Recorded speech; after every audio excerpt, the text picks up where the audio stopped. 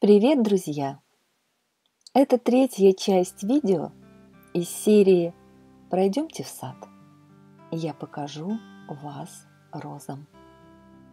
И я продолжаю обзор своих маленьких молодых розочек, которые только-только были высажены весной, летом, осенью 2019 года.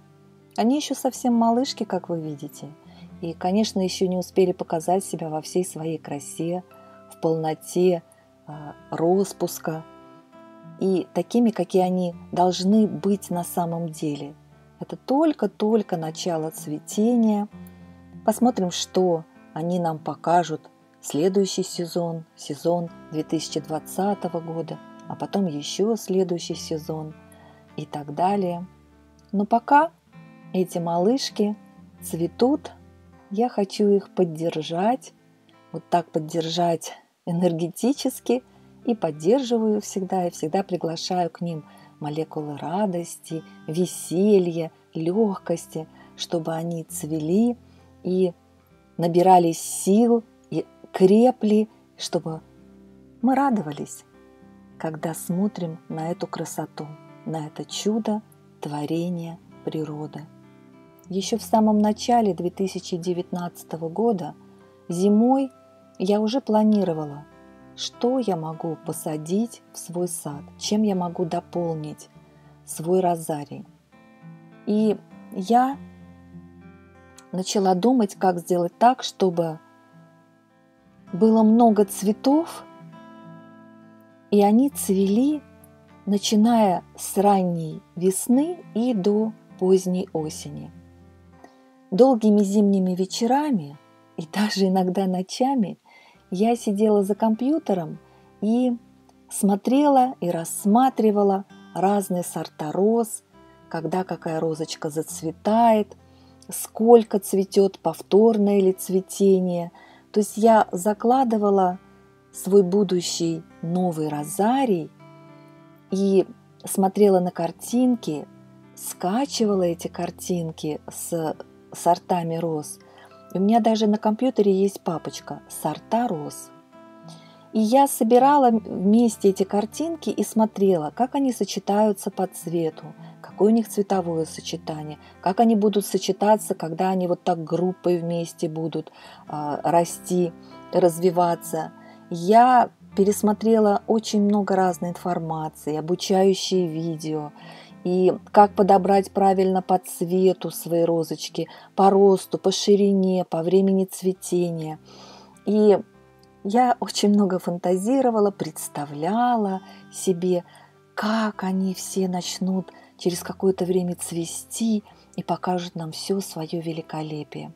Я записывала списки роз, они все время пополнялись. Сначала я думала, ну, 10 розочек, через какое-то время еще 10, а там еще 10, а там еще 20.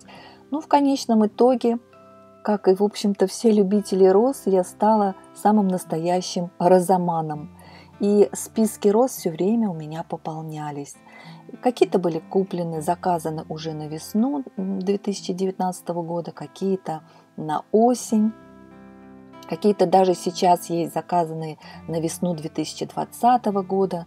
И я составляла свой идеальный план. И меня на тот момент даже это спасало. Мне было очень тяжело. И вот это занятие, это мое хобби, мое любимое дело, оно давало мне сил, наполняло меня жизненной силой и энергией.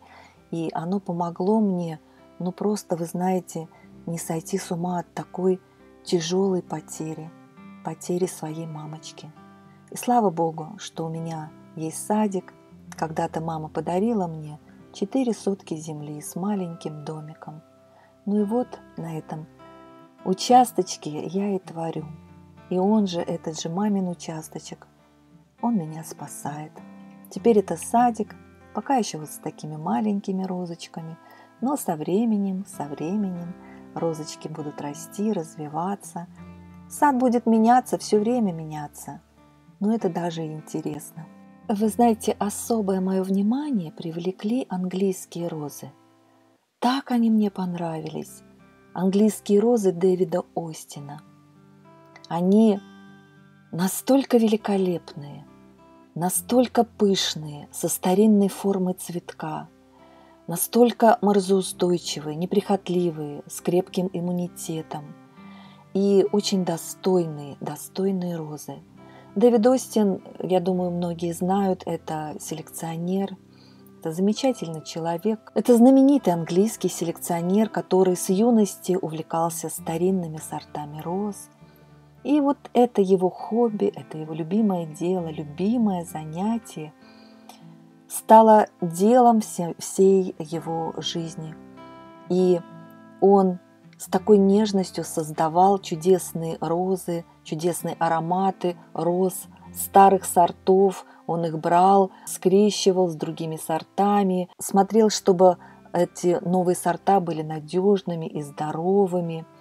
И вот так вот появлялись раз за разом одна роза, другая роза. Для выведения только лишь одного сорта понадобилось 8 лет. Представляете, для каждой розочки, английской розы, понадобилось 8 лет для того, чтобы этот сорт признали и у Дэвида Остина очень много наград, очень много роз, которые введены во Всемирный зал славы роз. Есть такой э, э, Всемирный зал славы роз. И к настоящему времени создано уже больше 240 сортов. И ассортимент этот постоянно пополняется, пополняется двумя-тремя новинками. А вот недавно появились еще новые сорта – я думаю, еще будут появляться сорта. Но вот в декабре 2018 года Дэвид Остин ушел из жизни, но его дело продолжили его семья, его сын, его внук. И это прекрасно. Английские розы – это великолепные розы.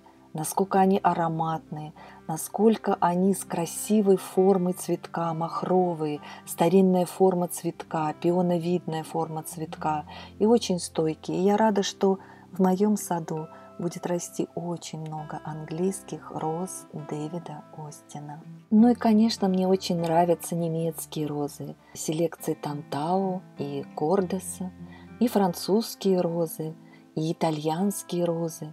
Вообще говорят, в наших южных краях очень хорошо себя показали разные чайно-гибридные сорта роз. Розы итальянские, розы французские и розы немецкие – которым все нипочем, и везде они растут и процветают. Ну, я посадила множество сортов разных роз. Это и розы Барни, а, итальянские розы, и розы а, Кордеса, Тантау, это немецкие розы, и множество французских роз, селекции Дельбар, и Гио, множество разных роз от разных селекционеров из разных питомников – это мой такой опыт. Мой такой опыт в выращивании разных сортов роз. Мне захотелось окунуться вот в это прекрасное занятие, в это мое хобби полностью с головой и посвятить свое время вот такому прекрасному делу – выращиванию роз.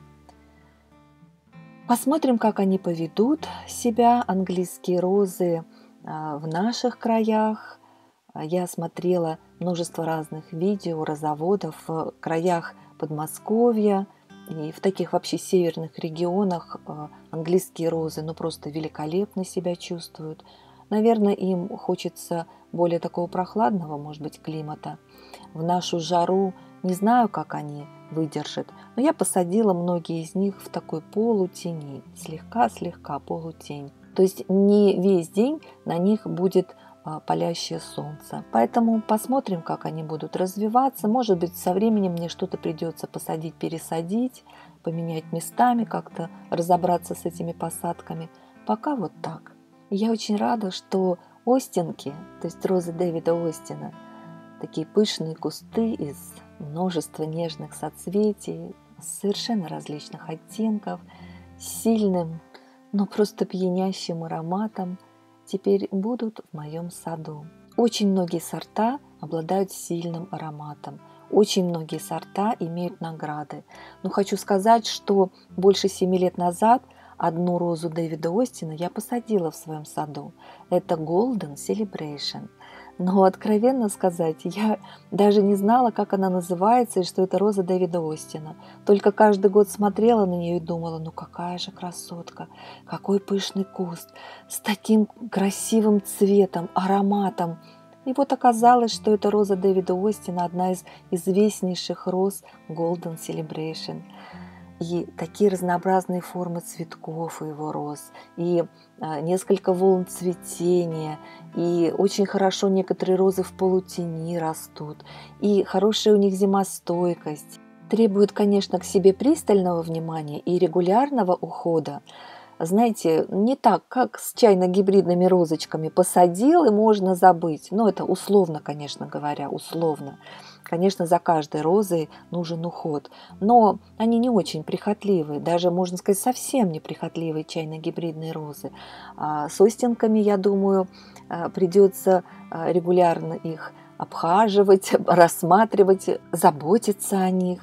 Но если вот создать хорошие благоприятные условия и соблюдать все требования а, растений, конечно, вовремя минеральные удобрения, вовремя от болезней, от вредителей обработать. Эти шикарные цветы, они отблагодарят неповторимой красотой и вызовут восхищение и у нас, у всех, и вызовут восхищение каждого, кто будет на них смотреть. Поэтому я приглашаю вас в свой сад, еще раз приглашаю, пройдемте в сад. Я покажу вас розам пока еще маленьким малышкам. Но давайте им пожелаем хорошего роста, развития.